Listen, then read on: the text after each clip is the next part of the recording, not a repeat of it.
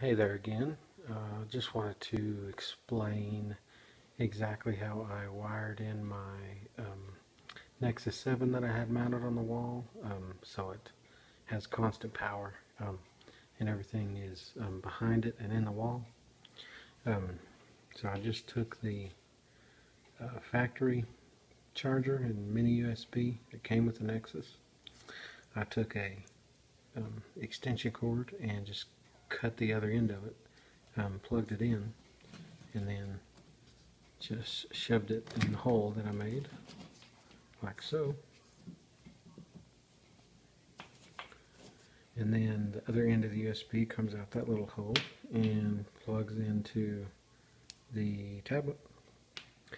And then behind the plate, I drilled a hole um, and ran the other end of the extension cord into here.